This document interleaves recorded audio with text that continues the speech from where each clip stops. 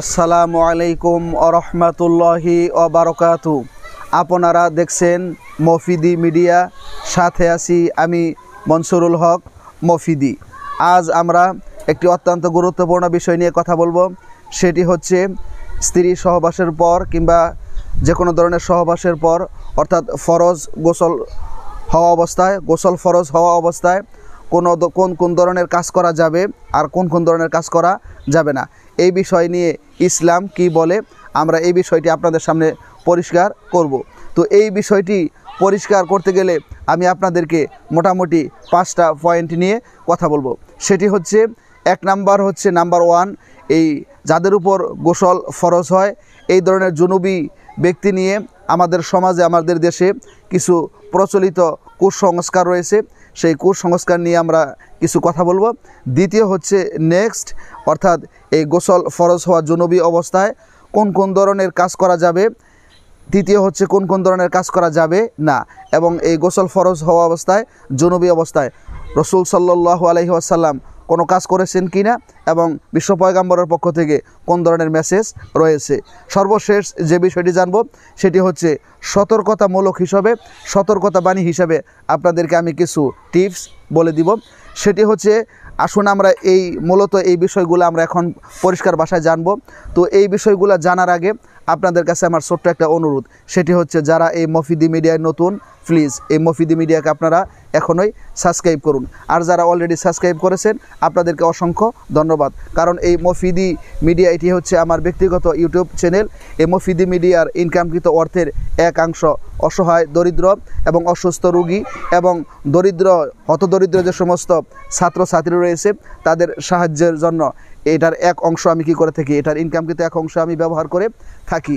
তো এই জন্য এই চ্যানেলটিকে আপনারা অবশ্যই সাবস্ক্রাইব করুন এবং সাবস্ক্রাইব করলে আপনারাও সেই সৎকায় জারিয়ার একটা সবের অংশ পাবেন ইনশা আল্লাহ তো সেটি হচ্ছে আমরা ফার্স্ট টাইমে প্রথমেই যে বিষয়টি জানব, সেটি হচ্ছে আসলেই যাদের উপর গোসল ফরজ হয়, এই ধরনের নারী পুরুষদের নিয়ে আমাদের সমাজের মধ্যে একটি কুসংস্কার রয়েছে। সেটি হচ্ছে, যাদের উপর গোসল ফরজ হয়, তারা, তাদের আমাদের সমাজে অনেক মহিলারা, নারী পুরুষেরা এরকম বলে থাকে যে, গোসল ফরজ হওয়া অবস্থায় যদি সে কোনো জমিনের মধ্যে পাও রাখে, জমিন তাকে বদোয়া করে, সে যদি কোনো চাউলের মধ্যে কিংবা ধানের মধ্যে হাত দেয়, সেগুলোর বরকত নষ্ট হয়ে যায়। সংসারের কোনো কাজ করলে সংসারের মধ্যে কুলক্ষী অলক্ষী এই ধরনের বিভিন্ন বালা মুসিবত চেপে আসে। তো আসলে এই ধরনের কথার ইসলামের মধ্যে কি নাই? কোনো বৃত্তি নাই। কারণ তার উপর গোসল ফরজ হয়েছে।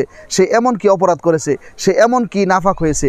সে ছাড়লেই এর মধ্যে বরকত কমে যাবে, কুলক্ষী অলক্ষী হয়ে যাবে, বরংস এটি কি না, ঠিক না। তো যাদের ভিতরে এই ধরনের ধারণা রয়েছে, আমরা এই ধারণাগুলি থেকে অবশ্যই আমরা বেঁচে থাকব। কারণ হচ্ছে আপনার এই এই যে বিষয়টা হচ্ছে এরকম, আমরা রসুল সাল্লাহ সাল্লামের একটি হাদিস শুনলে আমরা বুঝতে পারব। একবার বিশ্ব পয়গাম্বর রাস্তা দিয়ে হেঁটে যাচ্ছেন, এক রাস্তা দিয়ে হজরতে আবু হরাই রাজিয়াল্লাহ তাল আনহু আসতেছেন। এমন সময় বিশ্ব পয়গাম্বরকে দেখে আবু হোরাই রাজি আল্লাহ আনহু রাস্তা থেকে পাশ কাটিয়ে চলে গেলেন। বিশ্ব পয়গাম্বর বললেন, ও আবু হোরাইরা তুমি আমাকে দেখে কেন পাশ কাটিয়ে চলে গেলে? আবু হোরাইরা বললেন, ইয়া রাসুল্লাহ আমি তখন জুনুবি অবস্থায় ছিলাম। আমার শরীরের, আমার উপর তখন গোসল ফরজ ছিল। যার কারণে আমি আপনার সাথে কথা বলা এবং আপনার সামনে আসাকে আমি এটাকে আমি অনুচিত মনে করেছি। বিশ্ব পয়গাম্বর বললেন, মুসকে হেসে দিয়ে বললেন, হে আবু হরাইরা মোমেন কখনো কি হয় না নাপাক হয় না? কারণ সে তো হাকিকি নাপাক হয় নাই। শুয়োর যেরকম নাপাক কুকুর যেরকম নাপাক এই ধরনের হাকিকি নাপাক হয় নাই। তার উপর একটা হুকুম রয়েছে, তো গোসল তার উপর করা। কিন্তু সে বাস্তবে, সে যে জিনিসের মধ্যে ছানবে, সেটাই যে নাপাক হয়ে যাবে। এরকম যে জিনিসের মধ্যে স্পর্শ করবে, সেটাই যে নাপাক হয়ে যাবে। বিষয়টা এই ধরনের কোনো কিছুই নয়। তো আমাদের যাদের যাদের মধ্যে এই ধরনের কুসংস্কার রয়েছে, যে সে জমিনের মধ্যে হাঁটলে বা সংসারের কোনো কাজ করলে অথবা বাচ্চাকে দুধ খাওয়াইলে সে এইটা তার মধ্যে একটা অলক্ষী, কুলক্ষী কিংবা তার মধ্যে একটা ক্ষতি চলে আসবে। এটা ভুল ধারণা, এটা থেকে আমরা অবশ্যই বেঁচে থাকব। তো আমরা নেক্সট পরবর্তী দ্বিতীয় নাম্বারে যে বিষয়টি জানব, সেটি হচ্ছে আসলেই গোসল ফরজ হওয়া অবস্থায়, জুনবী অবস্থায় সহবাসের পর গোসল না করে কোন কোন কাজ করা যাবে না। মূলত মনে রাখেন, কারোর উপর কেউ যদি স্ত্রী সহবাস করে কিংবা যে কোনোভাবে কারোর যদি বীর্যপাত হয়, তার উপর গোসল যদি কী হয় ফরজ হয়, তাহলে সে ইসলামী গাইড, ইসলামী গাইডলাইন তাকে দিক নির্দেশন দিচ্ছে, হাদিস তাকে দিক নির্দেশন দিচ্ছে, সে টোটাল পাঁচটি কাজ করতে পারবে না। বন্ধুরা, আপনারাও খুব লক্ষ্য করে দেখেন, এই পাঁচটি কাজ ছাড়া যে কোনো কাজই সে করতে পারবে। পাঁচটি কাজের মধ্যে নাম্বার ওয়ান এক নাম্বার হচ্ছে সে কোনো প্রকারের সলাৎ আদায় করতে পারবে না। সেটা ফরজ সলাৎ হোক, নফল হোক, কিংবা সন্নত হোক, অথবা অন্য যে ধরনের সলাৎ হোক, সে কোনো রকম নামাজ আদায় করতে পারবে না, যতক্ষণ পর্যন্ত সে গোসল করে পবিত্র না হবে। দ্বিতীয় নাম্বার হচ্ছে সে বাইতুল্লার চত্বরে কি করতে পারবে না? তোয়াফ করতে পারবে না।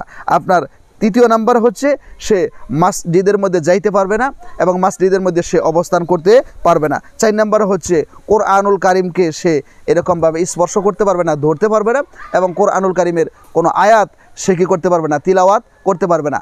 এই পাঁচটি ছাড়া যে কোনো ধরনের কাজই সে করতে পারবে, এটা কিন্তু মনে রাখতে হবে, যে কোনো ধরনের কাজই সে করতে পারবে। তো এই ধরনের কাজ করতে গেলে তার কোন পদ্ধতি অবলম্বন করে কি করতে হবে, কাজ করতে হবে?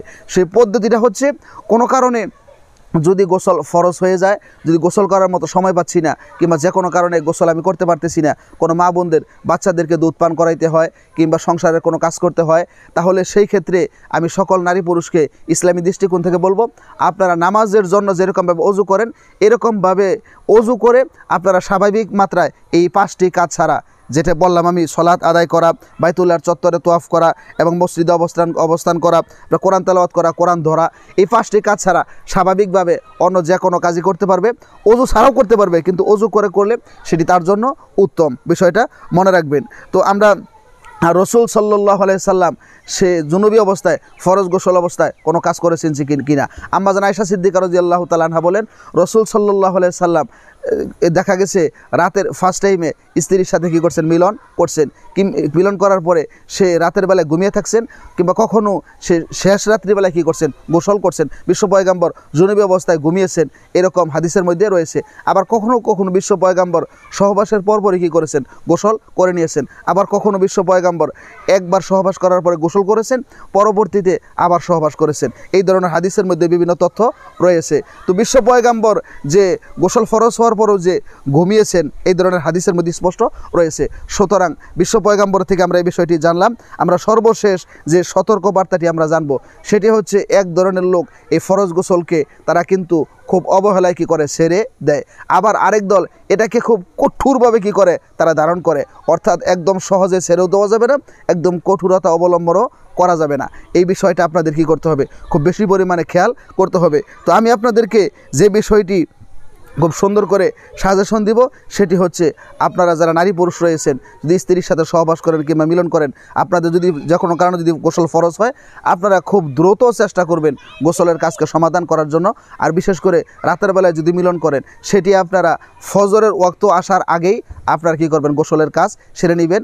এই গোসল সাধারণত কোনো বাচ্চারা, বাড়ির কোনো মেয়ে লোক অথবা অন্য কেউ যাতে এটা টের না পায়। টের যদি পায়, তাহলে আস্তে আস্তে এটা কিন্তু নির্লজ্জের একটা পরিচয় পাওয়া যায়। তো এই জন্য খুব তাড়াতাড়ি এই কাজটা গোসল করার জন্য আপনারা চেষ্টা করবেন, কিংবা কোনো কারণে যদি হঠাৎ লেট হয়ে যায়, তাহলে কিন্তু এই লজ্জায় যে গোসল করবেন না, এরকম যাতে না হয়। কারণ লজ্জার চাইতে আপনি আল্লাহকে ভয় করা, এটি আপনার জন্য বেশি জরুরি। তো আরেকটি বিষয়, সেটি হচ্ছে আমরা যারা রাতের বেলায় প্রাইভেট স্বামী, স্ত্রীর মাঝখানে যে মিলন হয়, সহবাস হয়, এই কথাটা কিন্তু আমরা অনেক সময় লোক সমাজে অনেক অনেকে বন্ধু বান্ধবদের সাথে কিন্তু শেয়ার করি। এটা কিন্তু কোশ্চিনকালেও কিন্তু শেয়ার করবে না। কারণ বিশ্ব পয়গাম্বর তাদের ব্যাপারে বলেছেন, আসাদ্দান নাস তারা হচ্ছে কঠিন গুণাগার যারা স্বামী, স্ত্রীর প্রাইভেট আলাপগুলোকে যারা পাবলিশ করে দেয়, যারা কি করে দেয়? ওপেনে বন্ধু বান্ধবদের সাথে শেয়ার করে দেয়। এই সমস্ত বিষয়গুলোকে আল্লাহ পাক রব্বুল আলমিন আমাদেরকে আমল করার তৌফিক দান করুক। আর বিশেষ করে গোসল যদি ফরজ হয়, এত দেরি কখনোই করবেন না। একটা নামাজের ওয়াক্ত যাতে পার হয়ে যায়, তাহলে কিন্তু মারাত্মক গুণাগার হবেন। এই সমস্ত আকি, আকিদাগুলি আল্লাহ পাক রব্বুল আলমিন আমাদেরকে জেনে সঠিক পন্থায় কাজ করার তৌফিক দান করুক। আমিন। আসসালামু আলাইকুম ও রহমতুল্লাহি